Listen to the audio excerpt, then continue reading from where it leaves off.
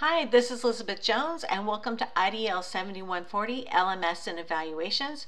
We are coming into week five of our evaluations of D2L Brightspace and today we're looking at how to create an accessible web page using the built-in HTML editor within the D2L platform. So we are going to start by coming up to the top uh, navbar and selecting content and then we're going to come down to the bottom here to add a module and we will just give it accessibility and HTML editor. And we will hit return and that will bring up our new module. And we will come here and select new the drop down and we are going to create a file and now we have our HTML editor in here. And there's a lot of accessibility within the HTML editors. So we're going to peruse some of them. Um, right now, you can look at really easily the headings under paragraph that will give you uh, a major heading and subheadings. And these are important to help screen readers differentiate between sections within your, um, within your content. The next thing I want to talk about are hyperlinks. So you can always copy and paste a URL that's going to create a hyperlink automatically, but it might be confusing for a screen reader. So instead, what you want to do is come to Insert Quick Link, select that, and then you're going to come down to URL right here and select it. And you are going to copy in the URL that you want. I'm just going to type in YouTube video right here and leave it on new window and select insert and now you have a YouTube video URL that is inserted that will be um, easier for a screen reader to differentiate and it will actually if it is reading it it will tell you to open it in a new window. Now, the next thing we're going to look at is alternative text, and this is something that you want to add to images. Now, um, it helps the screen reader and it helps users who may have problems with, with visual information. And when you're adding alternative text, it should indicate the content of the image. It should be short, only a few words, and it shouldn't be represent, repetitive. So you don't want to label it with information that's already within the visual, the visual text for the image.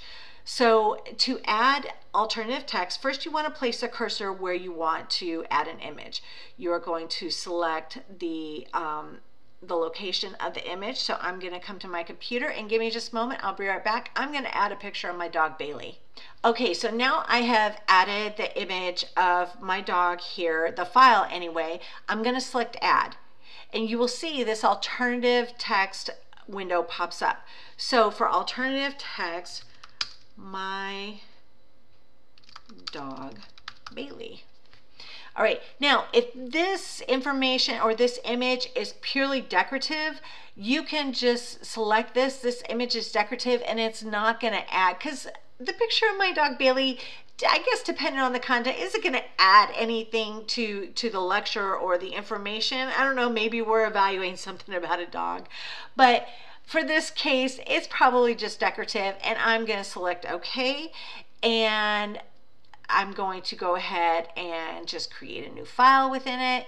And then my dog's image is going to pop up. Oh my goodness, that is huge. Let's get a good view of this sweet puppy. All right, he was taking a nap.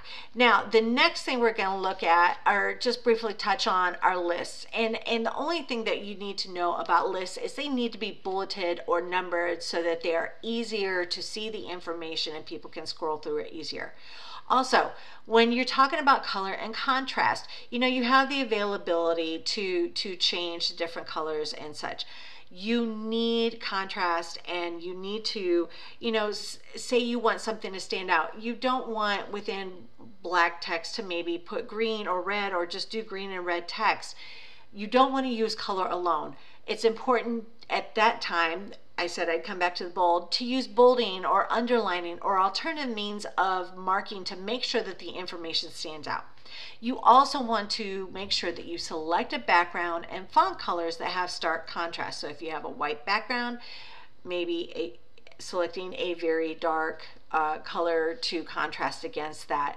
You don't want to input a lot of patterns that can be, be visually distracting.